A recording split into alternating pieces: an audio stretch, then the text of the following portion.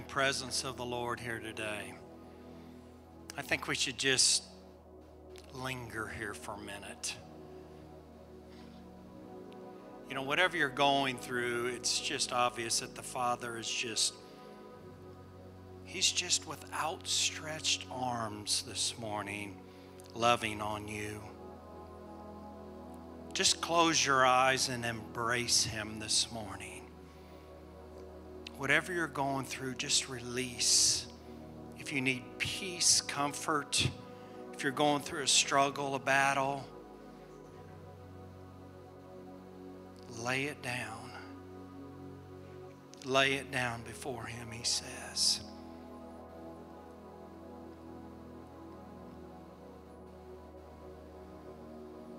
Thank you, Lord.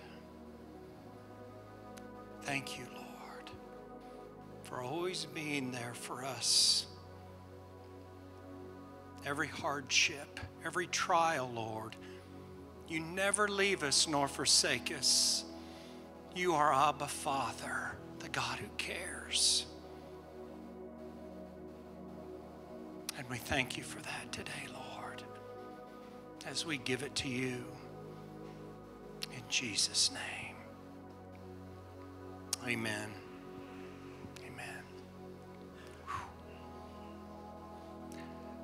Just love it when He basks and He lavishes on us? Hmm.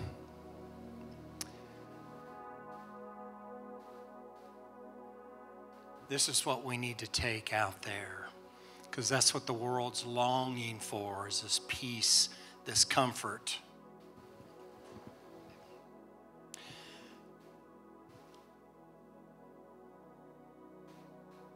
Just want to thank you for the privilege and the honor today to come speak to you. Before we get started, the Lord just dropped something in my heart. I want to I want to pray for Israel. Um, there is a time and a day where the Lord's going to touch them and rescue them, and He's going to deal with them. He's not left them alone, but this unprovoked attack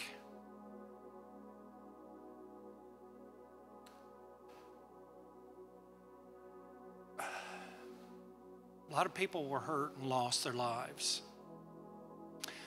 So I want to pray that, Lord, I pray like your scripture prays for peace over there, God. I pray that the Prince of Peace would step in, Lord. They've declared war once again, and I ask of you, Father, to just go before them mightily, as you have in the past, Lord. These are your elect. God, I pray that you help them in their hurting, that you bring comfort and give them strength to get through this, God. Give them grace and give them favor, Lord. We pray that in Jesus' name. Amen. Yeah, that was a hard one to see on the news. Oh, what a sweet presence here this morning. As you can tell, I'm not Jason. uh, I appreciate the opportunity to share with you today. Uh, it's just a privilege and an honor. Um, I just um, I had a message on Father's Day, uh, and it, I just enjoyed the message that the Lord gave me there about Him being a provider, being our source, being our protector and being our lover. So, as I was preparing for what the Lord wanted me to bring today, I was asking Him, you know, what your people need? What do they need to hear? And He said to drill down on being the provider and a source from your Father's Day message. I said, okay. So that's what I'm going to do today. But He threw an interesting twist on it it became from provider source to a whole new thing. All right. It really became is he your dependence?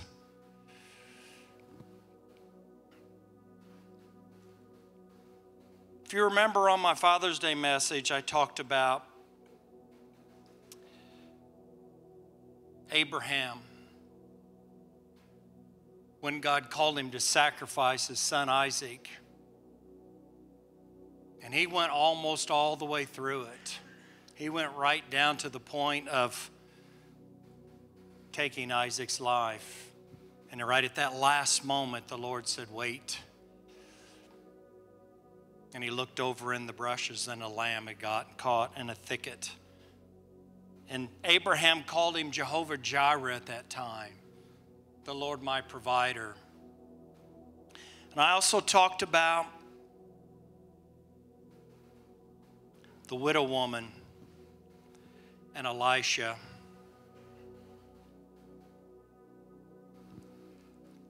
How she gave her last drop of oil for the man of God, and how God multiplied that out, and how He basically gave her a retirement program from that, how He provided for her. And lastly,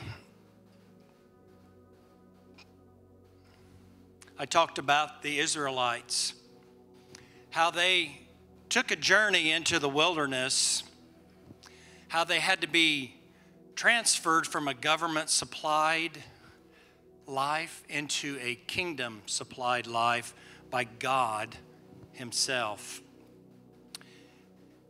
And as a result of that,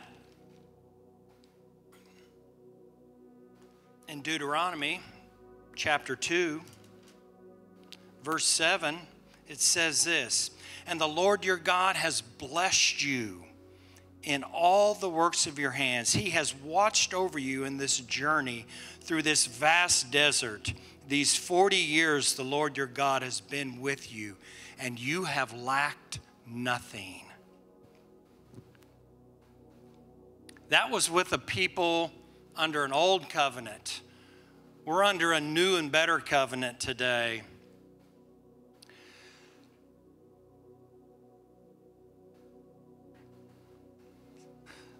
Thank you.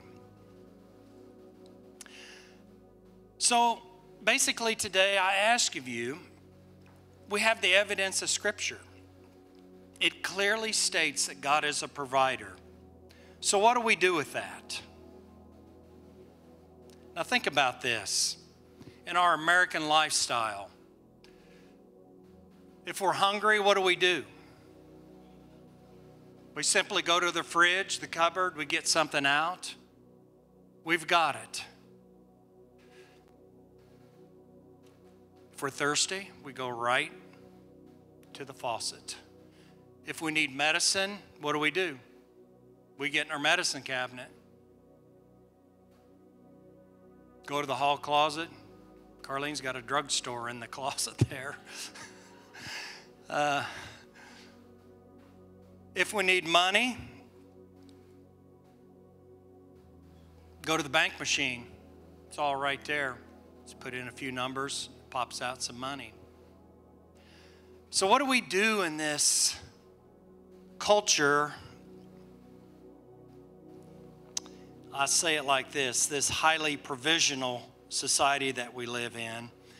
I don't really believe it so much is God our provider? But what I want to ask you today is He your dependency? We have such a highly provisional society that a lot of times it's easier to go pop the pill real quick, to get the money real quick.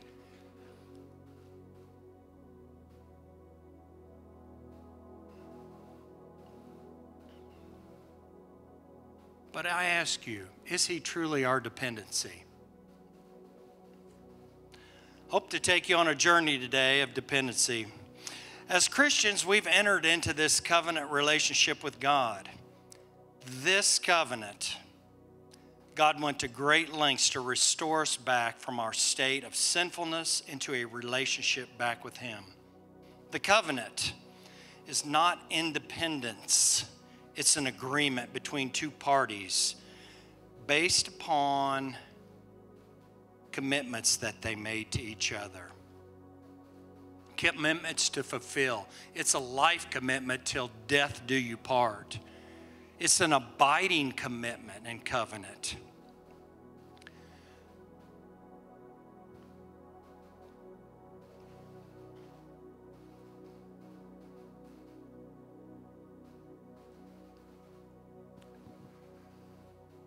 I want to give you some uh, definitions here. Dependency. Dependency is a situation in which you need something or someone and you're unable to continue normally without them. It's also a state of relying upon a being or being controlled by something or someone else. When I first read that, I got a little check. I was like, oh, I don't, we don't like that word control a lot of times. Think about this. Are we not called to a life of freedom? From what I remember in the scripture, uh, Galatians 5:13, for you brothers were called to freedom.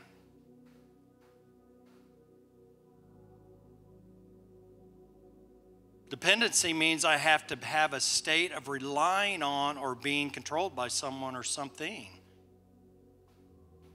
I like the first part of the definition. It's a situation in which you need someone or something or unable to continue that. Also in 1 Corinthians 12, I talked about this in the class this morning. All things are permissible but not everything is beneficial.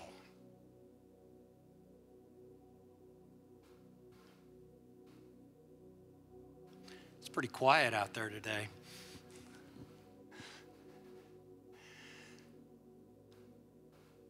I want to share a couple testimonies. Sometimes testimonies speak louder than the message themselves. I want to guess it was probably eight or 10 years ago. And this is a story of dependency. I had a little growth starting to come on my back and didn't think nothing about it. But as time went on, that growth got bigger and bigger. And then one day when I got out of the shower, I was at this point in time in my walk with the Lord where He was really drilling down on trusting Him, operating in kingdom authority, um, calling those things that are not as though they were, declarations, decrees. And I got out of the shower one day, I was drying off, and Carlene seen that growth on my back, and she said, Ooh, you better go see the doctor about that. I'm a guy. I usually like, yeah, right, you know. We usually wait to the last minute, unfortunately. But as soon as she walked out of the room, it was just plain as day. The Lord, I looked in the mirror and it just like He spoke to me right through the mirror and said, Are you going to trust me? Do you depend upon me to resolve this? Because I had been in the process of learning about dependency, trusting, authority and things like that.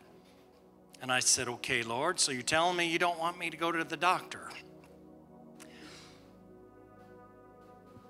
So I started getting the word out. The Lord brought to mind instantly the parable of the fig tree. Jesus and them was going from one town to another, and there was a fig tree that was out of season and was not producing any fruit. And he spoke to that fig tree and cursed it, and it withered away. That was the instant thing that I got. So I followed that. Scripture says to be imitators of God, so okay, if it worked for a fig tree, maybe it'll work for this growth on my back. And I proceeded for the next couple months, maybe not every day, fairly often I spoke to that growth on my back. And I said, You're not to be here. I curse you. I command you to dry up. You're not part of the health that the covenant has given me. I command you to get off of my back, dry up, and I want new growth to come in its place. And I spoke that for a couple months. I didn't see anything. Till one day. Now, this is what I want to encourage you on. Sometimes you got to walk through these things in dependency. I knew He was there. I knew I had the promises of God. I knew that my words would go forth because they were His words and they were not going to return void. They were going to accomplish the purpose that I sent them for. And then one day, when I got out of the shower, drying myself off, I looked. How many of you ever left like a piece of fruit or something laying out on the counter for a couple, two or three days? How it just kind of shrivels up? That's what happened. I seen that and it was shriveling up. And I'm not kidding, within a couple, two or three days after that, it had just completely shriveled up to almost nothing and it just fell off. And in its place, complete new growth there. That was a dependency and a trust upon His Word that He gave me. Now, I'm not negating anything to do with doctors because doctors are awesome and they, most of them have our best interest in mind. And we need them. And we're in a country where we're blessed to have these things. But I can tell you this from being on several mission trips all across the world most people don't have it as good as we have it. And the only thing that they have is their faith and their trust in the Lord, their dependency upon Him. Another quick one I had this drainage ditch in the back of my yard. I've got a detached garage. And I had the surveyors come out. I was going to put a driveway in. The county engineer gave me the size culvert I need to put in there and everything. I put it in. I had rock laid over it and everything, knowing that sometime in the future I was going to asphalt this thing. But I had been noticing as years went by, when it would rain heavy, the water would come up over the driveway and it would wash it out. I'm like, it didn't wash it out completely, but it washed it out enough to where I knew that that culvert was not the right size. So here again, I didn't know what to do about it because I'm getting ready to asphalt the driveway. And the Lord just says, Go to the county office, talk to the people there, talk to the engineers, and see if they'll put a new culvert in. I'm like, Right.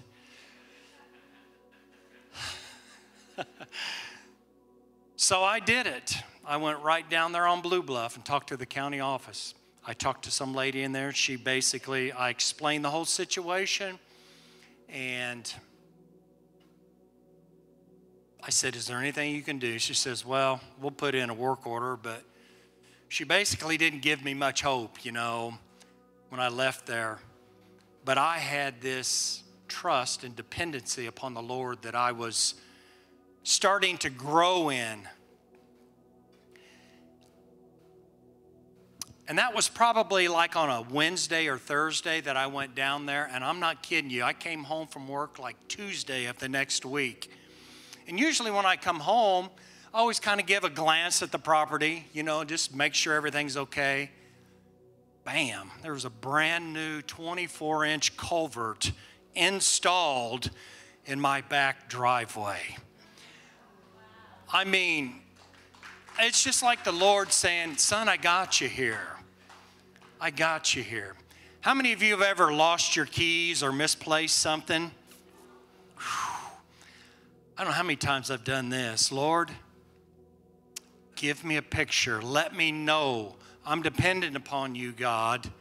And sure enough, every single time he shows up, every time. Folks, we got a God that we're in relationship with that wants to be so in, in tune with our lives, so a part of our lives that sometimes we don't give Him the room to let Him be God in our lives. He is our source, He is our provider, that He is.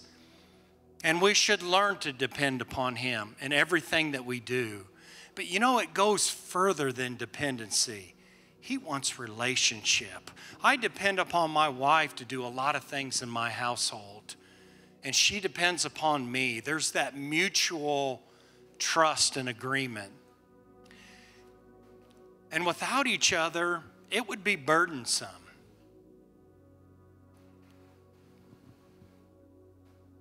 Think about it. The God who created everything wants to be a participant in everything that you do in your life. I mean, it boggles the mind to sit there and think about. Let me give you some synonyms for dependency.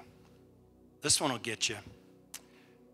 Dependency, assurance, belief, confidence, expectation, faith, hope, responsibility, stability, in stock, trust, interdependency, steadfastness, and trustworthiness. Wow. In fact, the Lord, I was in a job to where I had to go out and troubleshoot stuff. I didn't know what the problems were. A lot of times I had to go out there and pray in tongues, just trusting that He was going to drop something in my spirit to resolve this. He knows what the problems are. I was drawing from my source, my Heavenly Father. He promised never to leave me nor forsake me. He always promised to have the answer. May not be the way I want to hear it. But I've come to this point to where in my life, one of my life verses, because of dependency, has, has become Proverbs 3 and 5. How many know what that verse is? Trust in the Lord with all of your heart. Do not lean on your own understanding. In all of your ways, acknowledge Him, and He'll do what? He'll make your path straight. I can't stress it enough, people, that we need to depend upon our God. You know, we live in this society, in this Western culture where we're educated. We have everything at our fingertips. But I can tell you this I've witnessed these people on the other side of the globe who have nothing but God, and miracles are taking place over there all the time. So, this goes back to my question again. What does dependency look like for us in this Christian walk that we're in, in this highly provisional society? Well, I want to tell you here. Let's go to John, if you got your Bibles. Let's look at another example. Let's go to John 15.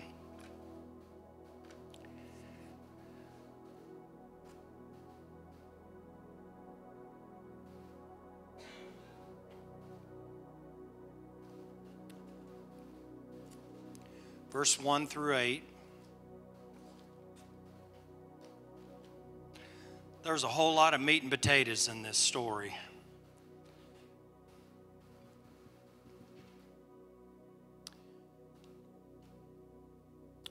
Jesus said, I am the vine, and my Father is the gardener. He cuts off every branch in me that bears no fruit, while every branch that does bear fruit, he trims and cleans so that it will produce more fruit. You are already clean because of the word I have spoken to you. Remain in me and I will remain in you. No branch can bear fruit by itself, it must remain in the vine. Neither can you bear fruit unless you remain in me. I am the vine, you are the branches. If a man remains in me, and I in him, he will produce much fruit. Apart from me, you can do nothing. If anyone does not remain in me, he is like a branch that is thrown away and withers. Such branches are picked up, thrown into the fire, and burned. If you remain in me, and my words remain in you, you may ask whatever you wish, and it will be given to you. This is to my Father's glory, that you bear much fruit, showing yourselves to be my disciples.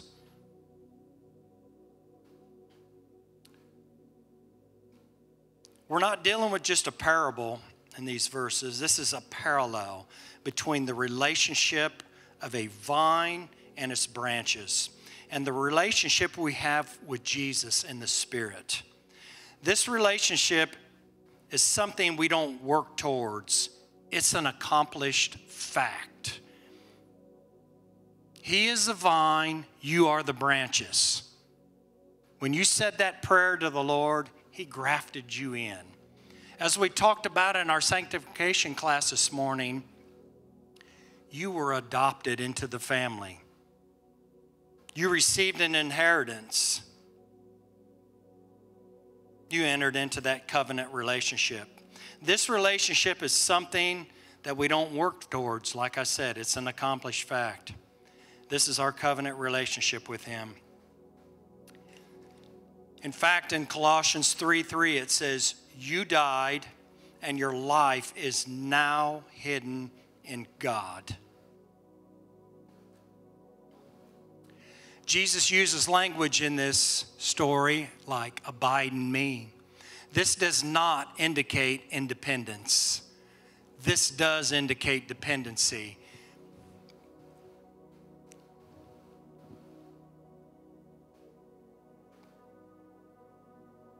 It indicates dependency, it indicates a connection, a union with Him.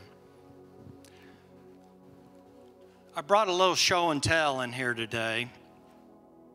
And I did not realize Carlene's charge was going to be on branches and leaves and twigs and things like that. It's interesting how the Holy Spirit just puts things together.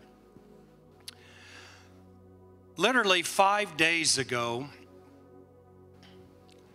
that was a healthy branch. You can tell it's pretty dried up now. It was green, it was lush. I think I could snap that in half real easy right now. It's dried out. That's a picture of what the Lord's talking about here. That branch cannot survive without the vine. The life of the vine gives life to the branch.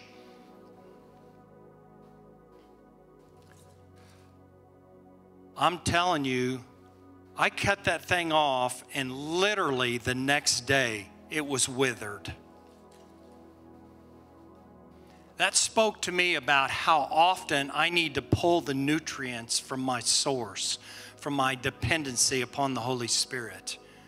It told me that if I just miss one day of fellowship with Him, I was going to start to dry up. In this parable, not really a parable, it's a saying of Jesus. He uses these words abide in me or depend upon me. Those are key phrases on how the believer is to receive and draw life from the Lord as a branch, draws from a source, the vine. Yes, we get pruned, and it talks about that in there, but the words prune us. And that's a good thing. But in that word, each one of us are in a process. You're going from no fruit to fruit to more fruit and to ultimately much fruit. That's the goal. That's where dependency takes us today, folks. Apart from me, Jesus said, you can do nothing. In fact, in Matthew 28, Mike and I talked about this last week. He says, Yoke together with me. Come unto me, all you that are trying to do this on your own. Yoke together with me. My yoke is easy and my burden is light. Let me partner with you, says the Lord. Teach. I will teach you, he's saying. Learn of me. That's the invitation that he's given us today, folks. Is come unto him. Let him be our dependency.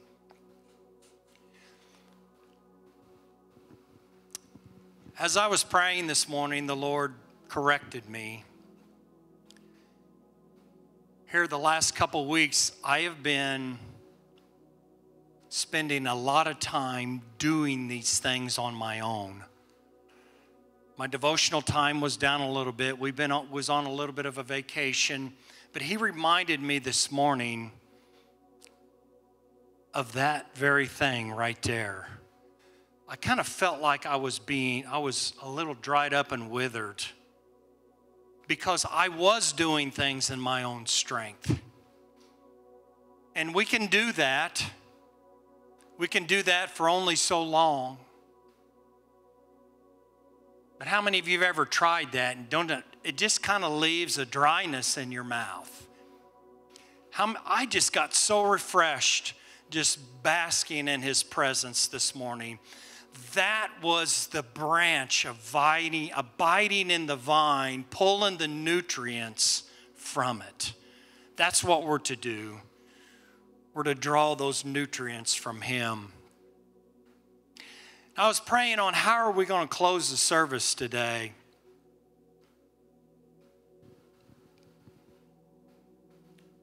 Oh, we all got things going on. But I wanted to encourage you today. You, Jackie, did, did you get that picture that Faye sent about the fruit and the trees? No? There was a picture.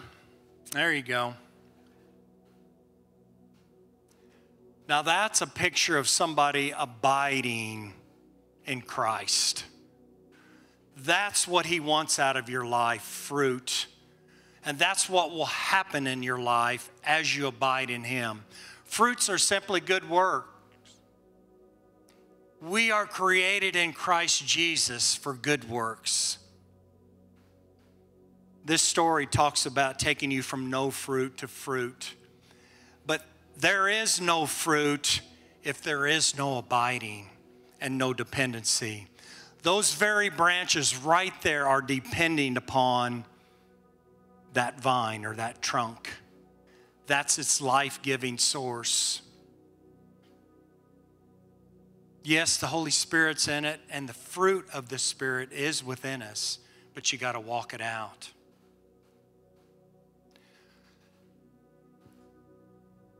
So I want to ask you today how dependent on the Lord are you? Where are you at?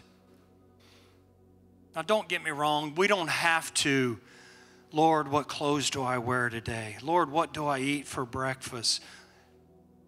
He's given you a mind. You, you can make certain decisions, but every day, we have a God that loves us so much that He wants to be intricately involved in everything that we do, every decision that we make. And as we close up today, I just want to invite you. I know I got, I got corrected on this. Where is your dependency today? Are you dependent upon Him? Is He your strength, your source?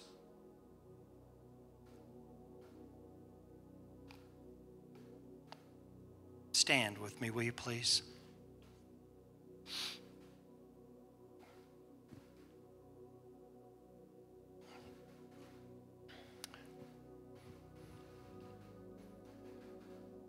Lord, I just want to thank you today.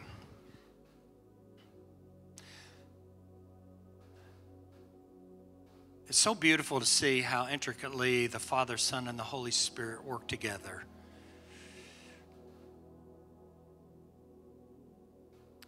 And I want to thank you, Lord, for challenging us to abide deeper in you, to have our dependency greater upon you, Lord.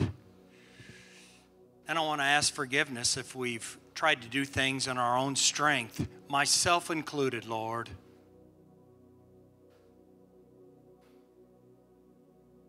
One of your main desires, God, is that we be fruitful, that the fruit that we bear would be tasted by all those who come in contact with us. So, Lord, I pray today that as we close, the altars are going to be open. I pray, Lord, that we make a fresh commitment of dependency upon you in everything that we do, Lord. God, without the air that we breathe, we're dead. Lord, you've put us in an environment where everything is perfectly balanced here on this planet. And we thank you for that. And sometimes, God, we can get caught up in the liberties that we share.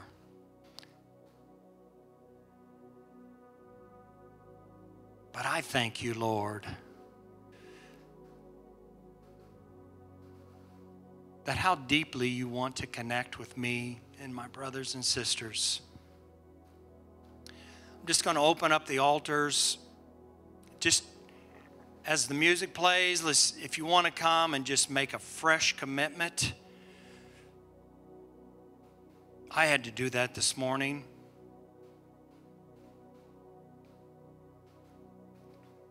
It's not a shameful thing to depend upon the one that loves you, who died for you, who's partnering with you, who is an ever present help in a time of need.